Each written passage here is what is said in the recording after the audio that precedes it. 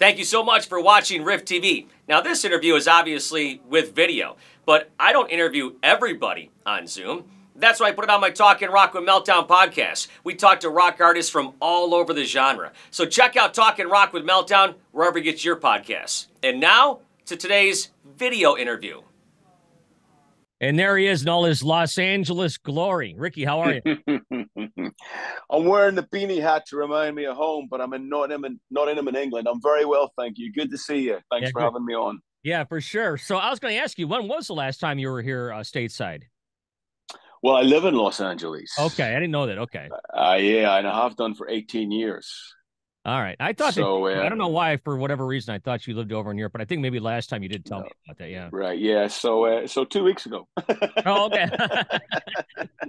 yeah. To answer the question, there you go. Exactly. Yeah. Um, yeah. You know, it's you know, it's funny. I was thinking about this earlier today when uh when I was uh uh you know getting ready to talk to you. You're the one that yeah. told me about the guitars on the Big Country albums. Yeah. Right. I, I didn't realize those were guitars. So as soon as we talked that day, I remember going home and I'm like I got to listen to these things over again. That's right. Because you thought they were synths, right? I saw. I didn't know what they were, but I didn't think they were guitars. Yeah. But yeah, man, what no. what great records those are. Oh, absolutely, absolutely. And I, I blatantly stole a big country riff on the new record. Um, I, you know, I know those guys well enough to to get away with it, and uh, yeah, they're a big influence on me. I love that band.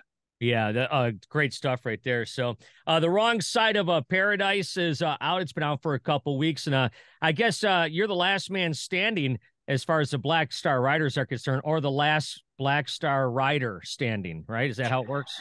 Yeah, it's really me and, and Robbie Crane. Robbie's been with us since the second record. Um, you know, Robbie's my, my bro, and, and but yeah, you know, listen, you know, ten years the band's been going it's not a jail sentence being in a band. It's free. Right. You're free to you're free to come and go, and things happen, and pandemics happen, and people timelines get changed, and things get things get moved around. But I think as long as we're making great music, which I feel that we are, then then that's okay. That makes everything legit, you know.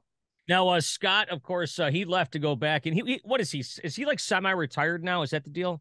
Yeah, he's kind of yeah, kind of. You know, as retired as you'll you'll ever get when somebody that's a lifer in rock and roll. But he he he he doesn't want to do the six seven weeks in the tour bus anymore, and I I get that. I totally yeah. get that. I was going to say you can't blame him for that. He's done it his whole life. Well, exactly. You know, that's it. Yeah.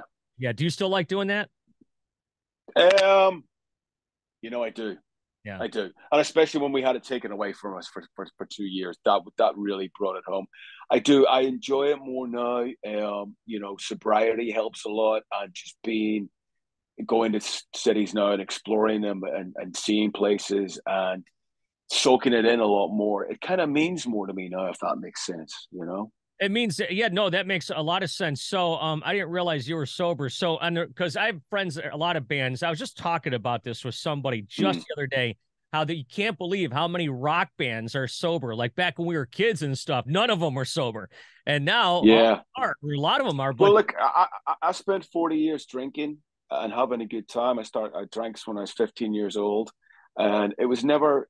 I would never consider myself, you know, fortunately an alcoholic but I like to drink. And I just got to the point where, and somebody said to me, Don't you wish you'd stopped 10 years ago? And I went, No, because I had a great time and it was right for me at that time. But uh, about a, just over a year ago, I was just like, I'm done. I'm done. I've, I've been down that road. I've always kind of looked after myself, but I would, you know, I would train hard and I would eat bad or drink, you know, pack a pack a beer at a weekend, a couple of whiskeys. I thought this isn't, you know, let's let's try it without this. And best decision I ever made. So one of my friends, uh, uh, Brad from Three Doors Down, and he's told me this publicly, sure. so I'm not speaking out of school, but uh, he said that uh, you know, he was just he would drink because of the boredom on tour, and you just mentioned that's how, it. Yeah, he just that's he it. Yeah. You know, i have been out here uh, for the last two weeks. What I've been doing is a record store in-store tour where I've been going around all the record labels and record stores in the UK, excuse me, yeah. playing acoustically in the stores and signing the meet, meeting the fans, Black Star Riders fans in the stores, and it's been incredible. But there's been some downtime, and you know, before that would have been going to the pub, and now you don't. Now you have you have that, so now you, you're you're filling with more constructive stuff, and uh, it's just all around better. But yeah, I totally agree with him. Because the boredom was was a big factor before you. Ah, let's just go to the pub. You know, that was the excuse. You know. Yeah. I had another one of my friends, and this doesn't sound like you're in the situation that he was in, but he told me that he would have to wake up every day and apologize for what he did the night before. that's happened a few times. Uh, yeah, yes, that's happened a few times. Uh, I've had to do that. Not, not thankfully, not frequently, but there's definitely been a few instances where I've kind of gone up and went, "Am I still in the band?" the next day. So how how many? So you said one year. So uh, are you just one, a year? Just okay. So yep. So when uh, how has that helped you um, with your songwriting, your performing, all that kind of stuff? It's just helped me with with clarity, with with um, my overall well being, just mentally and, and physically. Um, I would I would always had a beer and maybe a, a, couple of shots of whiskey before going on stage, and obviously I don't do that anymore, and I'm finding I'm enjoying the gigs more. And just it's just all right. I mean, everybody's different. For me, that's what works right now. I want to continue doing this for as long as I can. And to, to I, I felt to be able to do that, that I had to start really looking after myself, and and the alcohol was was, was something that it had to be knocked on the head. Yeah, my, my wife just said to me, I might be speaking a little bit uh, out of school in my life, but my wife's like, "You haven't snored the last two days." I went to bed sober the last two days.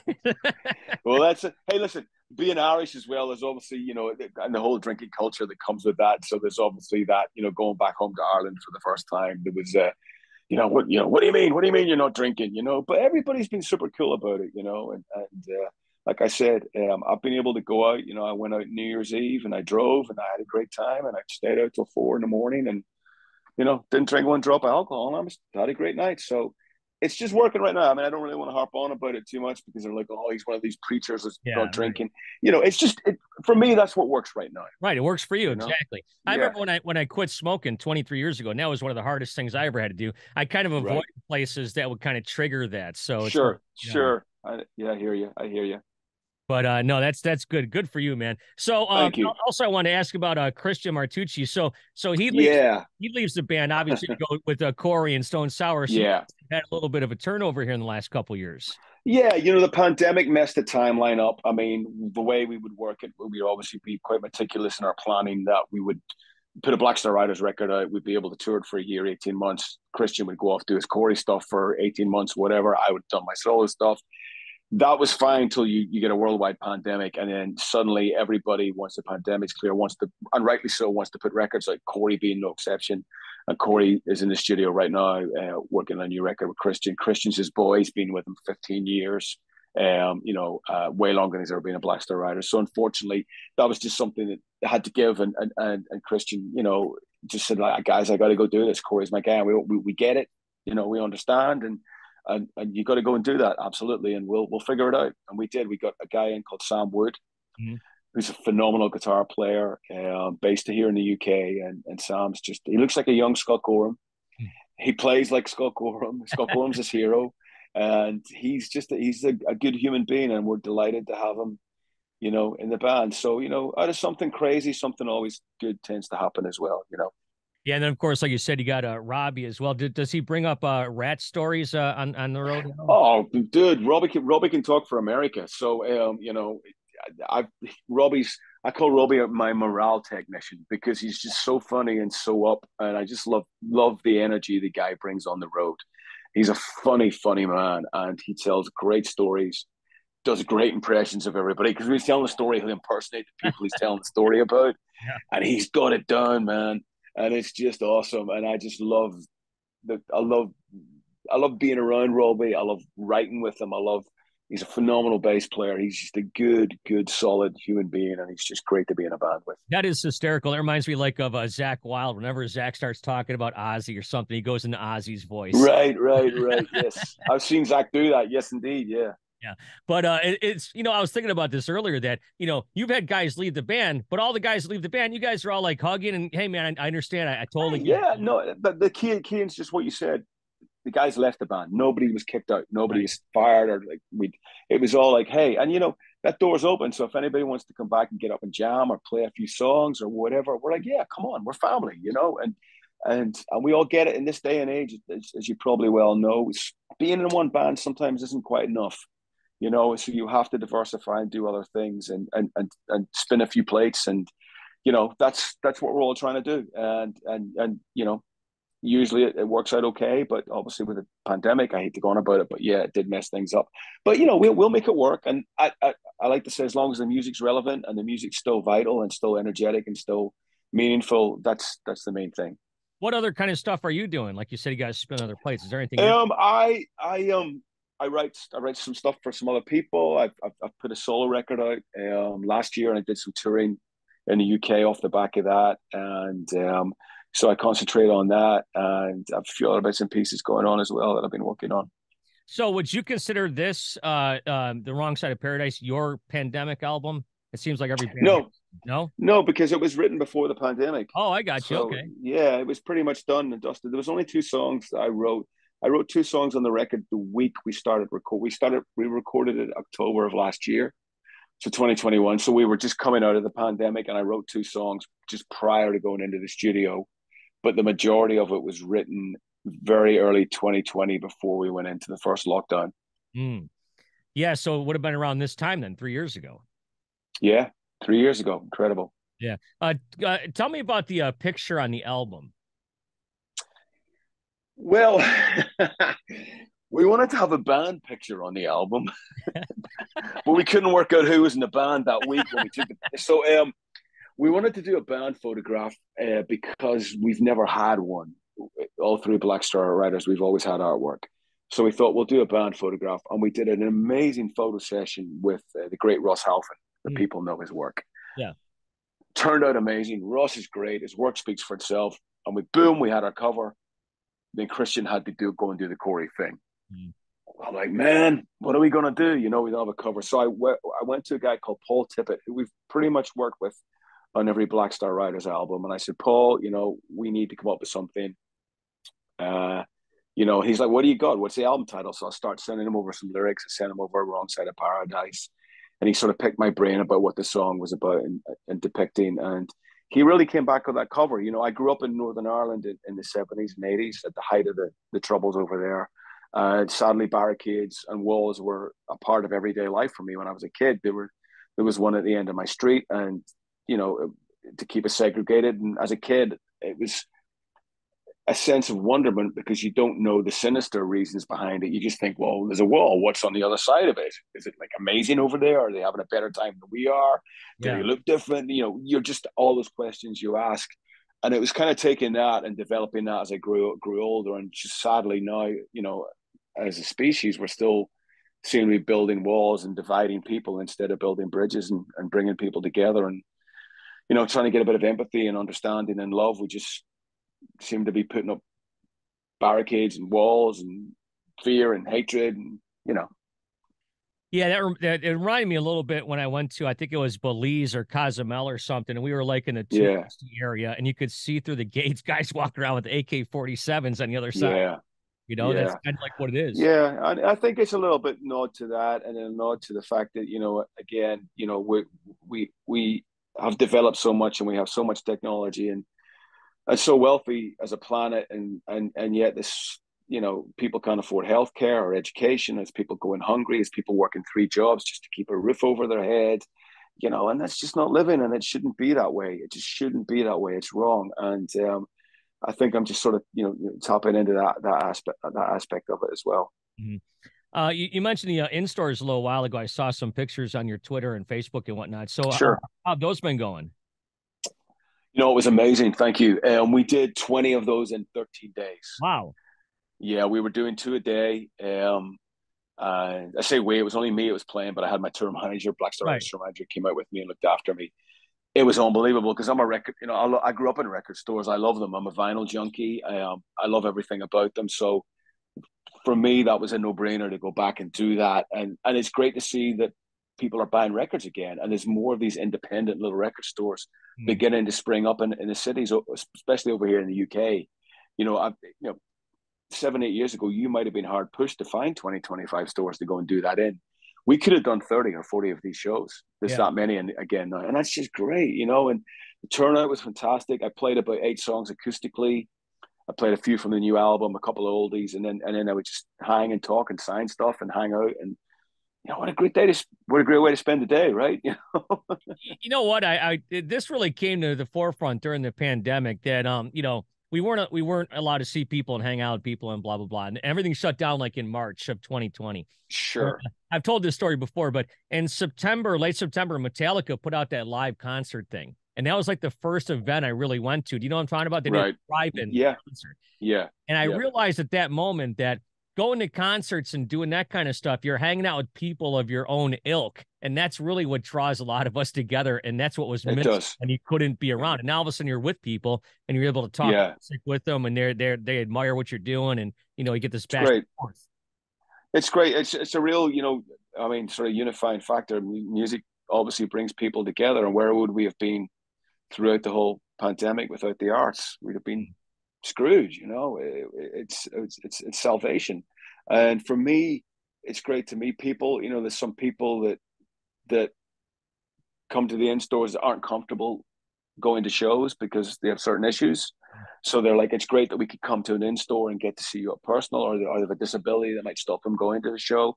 So it's nice to meet meet some of those people, and, and I think they appreciated the fact that you know that you know that was a chance to hear some of the songs and and, and get their Black Star Rider stuff signed, and and you know, so it was just lovely, and it was a lot, we a real mixture of people, you know, everything from, you know, the older generation to people bringing their kids along, and you know, it was it was it was lovely, it was really good.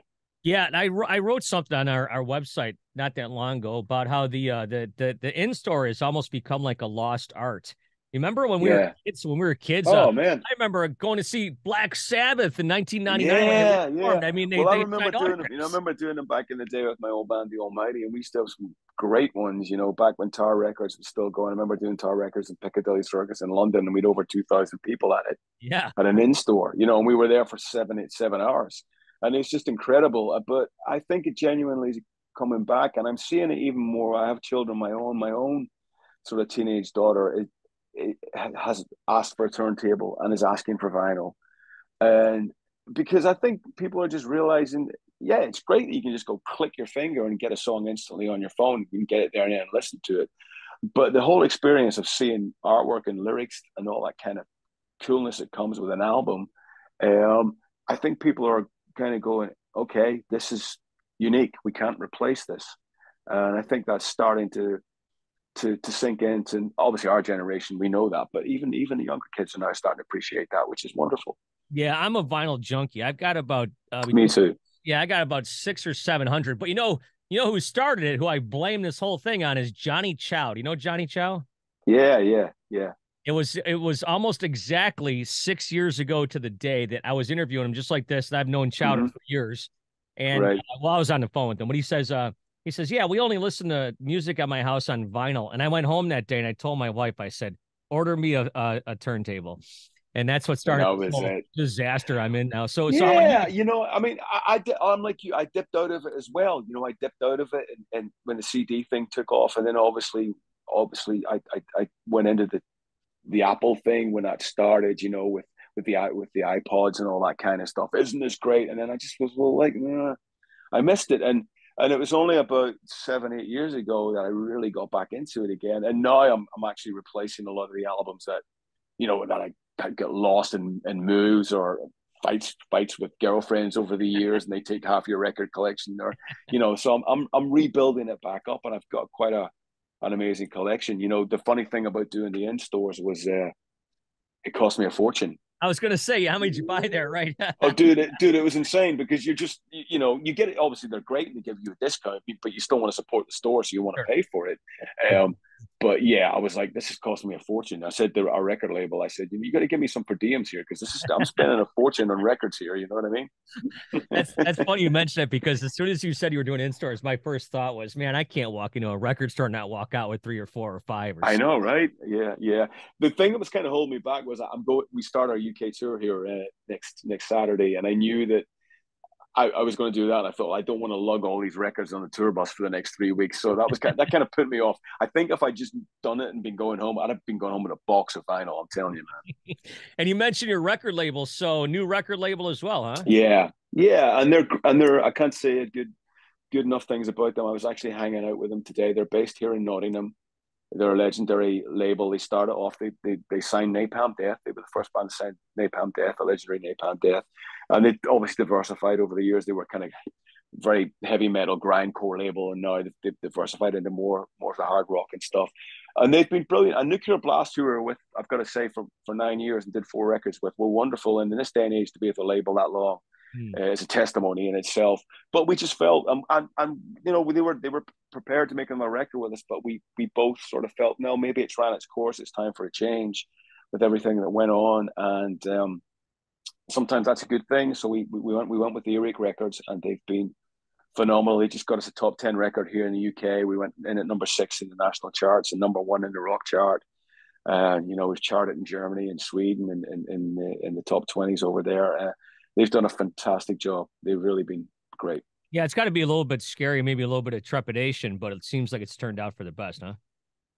I think so. You know, sometimes it's just good to make a change. You know, I think we obviously with the lineup changes and we just thought, well, we'll, we'll, we'll have a bit of a label change and, and, and bring in some, you know, some freshness, just shake the thing up a little bit. Uh, and it's, it's just worked really, really well. And everything we've asked for, they've given us, and they've been so supportive.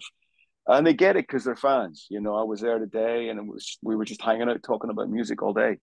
Mm-hmm. And, uh, you know, it was a great vibe. Um, you know, you said you start your your UK tour. Is, are things going to be? I'm I'm not a musician. I've never been in a band. When you walk up on stage, there's only four guys up there. Is that going to feel weird to you or no? Or, or maybe um, have the Scott Scott next. Well, we've already done it. We've already played.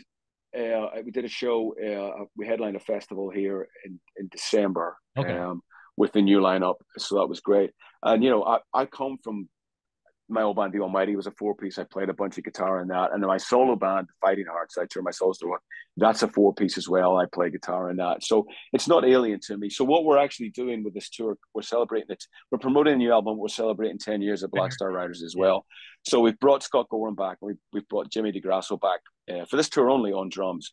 So what we do is we, we will go, we go on, we start off as a four piece. We play a few songs, a few tracks from the new album, a couple of oldies, and then Scott comes up and joins us for the remainder of the set. So we do about 13 songs with Scott. We go through the back catalogue.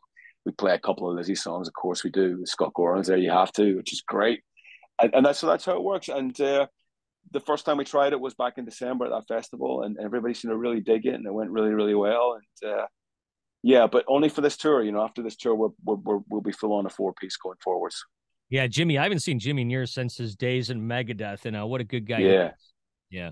I mean, he's an amazing drummer, and you know it's it's fun having him back, and it's great. Uh, but you know, Zach, who played on the album as well, is a is, a, is an amazing drummer, and he was very gracious in stepping aside to let Jimmy come in and do this 10th anniversary tour. But we're looking forward to very much to welcoming Zach back. You know, once we once we get done with this this run. All right, Ricky. Uh, final thing here for you. Um, some guy named Jay Ruston wanted me to ask you about too many, too many. What does that guy know? That guy knows nothing. he doesn't know anything about play, about making no. rock music. He wanted me to ask you about too many wires. Oh. yeah. it's a it's it's a it's a story from a gig in Ireland many many years ago, um, and I think the guy that booked the gig in in, in rural Ireland, rural Ireland, that's not easy to say, um, didn't know what he was booking, and you know we turn up, the fans turn up, his venue stroke a bar gets wrecked and the locals don't know what's hit him. and we were sort of packing up to leave the leave the leave the venue, and a very disgruntled uh, owner came up to us and sort of looked me straight in the in the in the in the eye and said, "You're too loud. You have too many wires, and you won't be back." I remember you, have too many. You've you have too many wires. I just thought that was brilliant. I just wow, with too many wires you know. You know what's funny about and, that? I, I've been on stage. I've seen hundreds of concerts, maybe a thousand. I don't know, but you know, stages typically when you see them, they are spotless. I've seen guys, roadies, stuff vacuum oh, man. carpets. I, know, yeah. Right?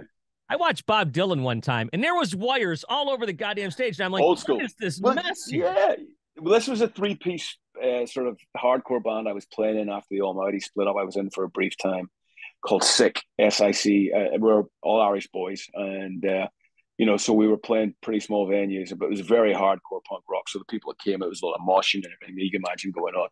I think this guy just didn't know what was going on. I think I think somebody said to him, "Look, you the pub will be busy and you'll make a lot of money on on the booze." But I didn't think he, he expected what had happened. But you know, we we were old school. We were all plugged in. There was no radio mics or anything like that, you know. So it was by the time we jumped about, it was like spaghetti junction on stage with the wires crossed and everything. And he just he just didn't seem to dig it, you know. And it was just like, all right, you know, okay, we will we won't be coming back. So there you go. you, you, probably haven't heard that critique since. But Jay Jay Jay loves that story, and I, I have to tell that story every time I see Jay Ruston. you know what's funny is uh, Jay uh, grew up across the the river here and just over in sure, and he actually. Did, yeah. He, uh, he went to school with one of my friends, Darren McCarty, who was an NHL hockey player. Oh, right on. Yeah, I've heard of him. Yep, yep. Yeah, and of course, a legend here in Detroit. And uh, I've never yep. met Jay, so I just text him every once in a while when I need a question for a for an artist he's worked with, and that's what he sent me. Right. Not too many ones. He's great. I can't say enough good things about Jay. Jay's just just a great guy to work with. A great temperament, phenomenal engineer, um, phenomenal um, knowledge of music and and he pushes you man you know there's no auto tuning there's no cutting corners you he pushes you till you get it right and i love that about him uh, you know maybe I, i'm not sure i do at the time but the end result is always really really great and he's a great great guy to work with and i love working with him he seems to really have his finger on the pulse of uh of a lot of rock bands right now last last five or eight years yeah yeah, man. He, well, he deservedly so gets a lot of work because he's he's one of the best in the business. But he's got a great ear, and I think he never loses sight of the fact that when Jay makes a record, he's not making a Jay Ruston record. Mm-hmm. He's making the record of the band he's working with, and that's the sign of a great producer. Like he will morph into it, whichever band he's working with. He will understand that he's making a record for that band, you know, and uh, and that's a good thing. Yeah. Well, Ricky, good luck with everything. Hopefully, I'll be able to see you over here. I think the last time I saw you live was uh, uh, on that Judas Priest tour in 2015. Yeah, yeah, yeah. We're we're definitely hoping to rectify it out. We're you know we're working on um on, on looking at some North American dates for this year for sure. You know with the uh, you know with with three of us obviously being based in the U.S. now, that's going to make things a lot easier. So uh, we we will we will get out there for sure at some point. Yeah, I think I might see uh, my old friend and of course uh, yours as well, Damon Johnson, this weekend. So or next weekend. Oh man, well, give him a big hug from me. I'm so happy for Damon. Damon, Damon's. I was like, bro. I was like, not only do you get to play in Thin Lizzy, but you're in Lynyrd Skynyrd now. I mean, come on, you know. and he's true. like, yeah, and I was like, yeah, but he, you know, he he deserves it because he's one of the good guys. He's a phenomenal guitar player, and if there was anybody that was going to be able to carry on Gary Rossington's legacy and play the parts with the passion and and and style that Gary plays them. Yeah, it's Damon Johnson. Yeah, so he, he's. Uh, yeah, he he puts that band obviously up on a pedestal. And uh, just yeah. a fast fact about uh, Damon Johnson, he was introduced to his wife by Darren McCarty right here in Detroit. That's right. That's that's where I know the whole thing. That's what I'm trying to think. That's that's right because he, he told me that story. Yeah, there you go. But I miss Damon. Uh, we talk a lot. Obviously, I don't get to see him as much, but we're still, you know, we're still bros, and and uh, you know, I, I'm just so happy for him. I'm happy he's doing so well. He deserves it. Well, good luck to you. Uh, the the record on the wrong side of paradise is out right Thank now. You. I have fun on those European tour days, man. That sounds awesome. Yeah, it's gonna be great. You know, we've got Michael Monroe out with us. Um, oh, okay. Wow. Um, which is great. And we've got Phil Campbell from Motorhead. We've got his band, Phil Campbell and the Bastard Sons are out with us. So what a lineup, you know? It's yeah, just incredible. So uh, it's going to be fun, you know? I'm I, no pressure following those two acts, right? Ricky, appreciate your time. Thank you. Thank you, brother. Appreciate it. Thank you.